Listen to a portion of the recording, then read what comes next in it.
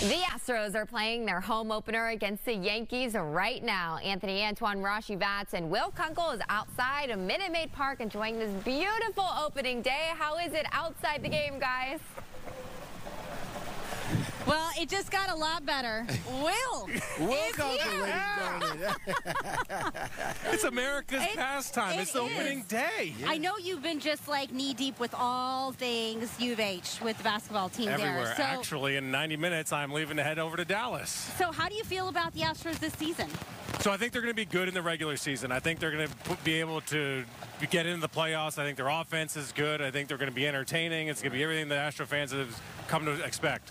I'm worried about their starting pitching. Like I'm worried about the middle relief. I think the back end of the bullpen, seven, eight, nine, good. Starting pitching is my biggest concern, and I'm not going to say that today's a, a pure example of that because it's one day and it's 162 games.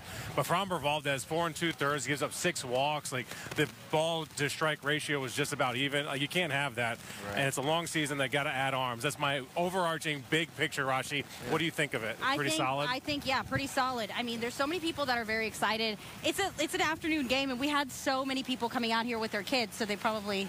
I wish they had the roof open, Anthony. Right, right. It's God's game under God's sky, not man's roof. No.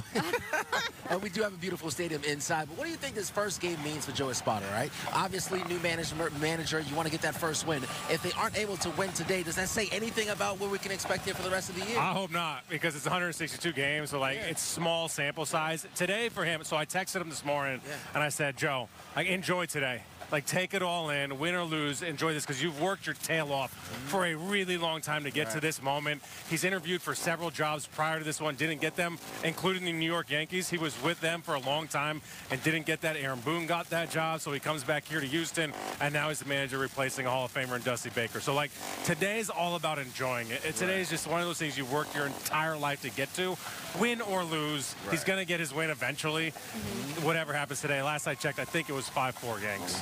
And he's a good guy. Everything I've seen I- from I Joe, mean, I haven't awesome had a chance to dude. meet him personally, but everything I've seen from him has been great. I'm sure the team is also behind him, and a lot of guys have been putting in a lot of work in the summertime, trying Mm-hmm. to get better, and here we are, opening day. So as we talk about the players a little bit more now, you were mentioning about pitching. That was a concern last year as Yeah. well.